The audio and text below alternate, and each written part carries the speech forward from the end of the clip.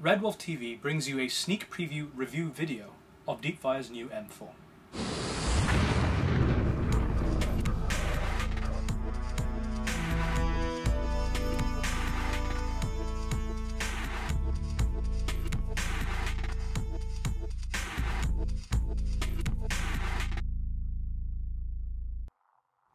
Deepfire's new M4 is styled after the M4A1 Armalite carbine.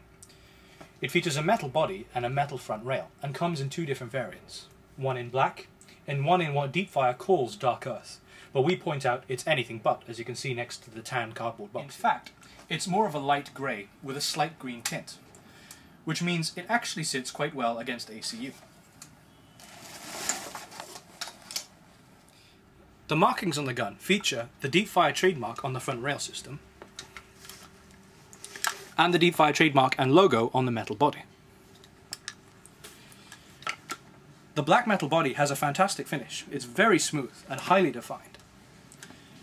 With similar quality on the front rail system, in fact with a slightly higher definition with a matte finish. As the operator, one of the first things you notice when you pick up this weapon is the distinct lack of wobble found with many M4 receivers. With the exception of the plastic buttstock, which is typically wobbly for this kind of weapon. The rest of it is absolutely rock solid. And I really mean that. There is no give whatsoever between the upper and lower receiver. And the front rail, similar idea. Even the iron sight and the outer barrel, all of it. It feels like one piece of metal. You may have noticed that the plastic buttstock is of the crane stock variety. This offers a tri-stick battery storage solution right out of the box.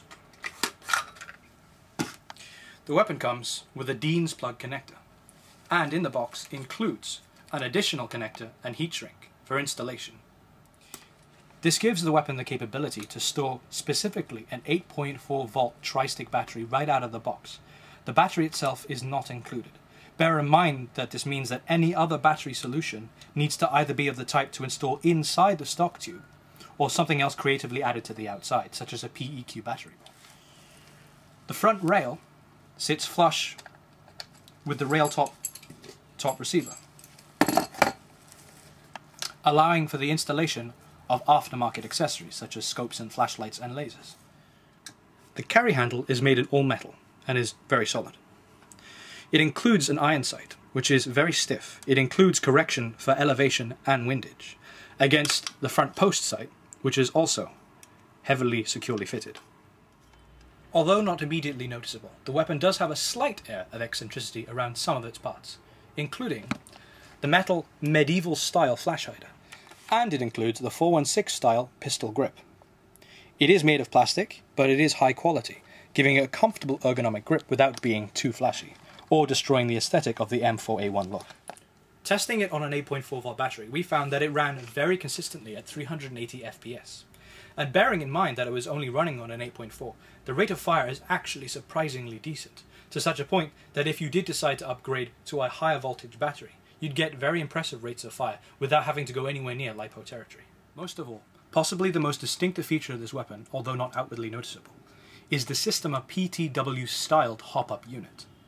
The downside to this unit is of course that the hop-up adjust cannot be reached through the breech, but instead is applied by Allen key inside the magwell. We do make a note to users. The default setting for the hop-up is off out of the box, of course, but you will find it a little stiff in the beginning. Don't worry about it, it just comes out of the factory that way. After you start to use it, it'll begin to loosen up, but more importantly, it won't completely loosen up because this is the key feature of the hop-up adjust. In this weapon, the hop-up is incredibly stable, no matter what kind of shooting you put it through.